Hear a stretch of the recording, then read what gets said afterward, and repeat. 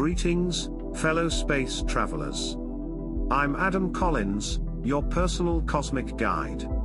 Have you ever wondered about the possibility of life just around the cosmic corner?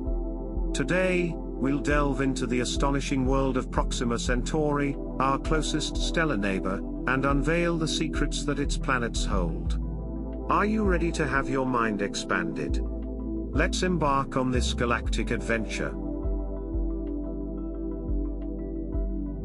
Proxima Centauri, a humble red dwarf star, is a mere 4.24 light-years away from our home. This seemingly unassuming star hosts a trio of fascinating planets, Proxima b, Proxima c, and the enigmatic Proxima d.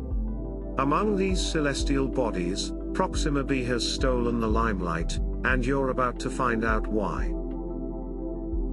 Proxima b is nestled within the habitable zone, the Goldilocks region where conditions could be just right for liquid water and life. But Proxima b is a world of contrasts, tidally locked to its star, one side perpetually scorched, while the other languishes in eternal darkness. But what if life could thrive in the twilight zone, the narrow band between scorching heat and frigid darkness? Scientists think this region could be home to unique and extreme life forms, unlike anything we've ever seen. Let's think outside the box for a moment. What if life on Proxima b isn't carbon-based like it is here on Earth? Meet the shadow biosphere theory. This proposes the existence of an entirely separate domain of life, based on alternative biochemistries, such as silicon-based organisms. These alien life forms could be hiding in plain sight, waiting to be discovered.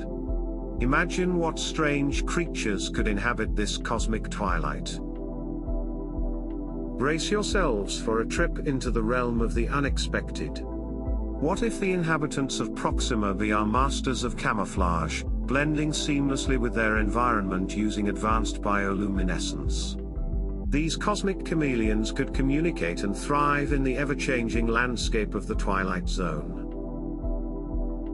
A whole new world of possibilities opens up when we consider such a radically different kind of life. What might it want to tell us?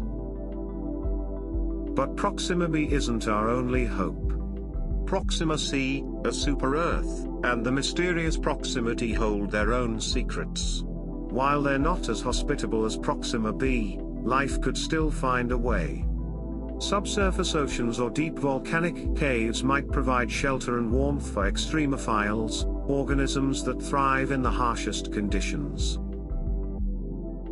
So, there you have it, the tantalizing possibilities of life in Proxima Centauri, from the twilight zone of Proxima b to the mysterious depths of Proxima c and d.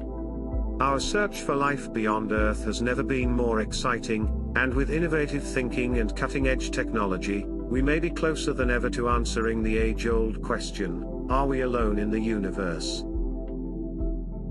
If you enjoyed exploring the mind-bending possibilities of alien life in Proxima Centauri, make sure to like, share, and subscribe.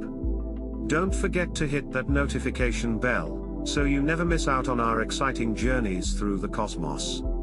This is Adam Collins, wishing you clear skies.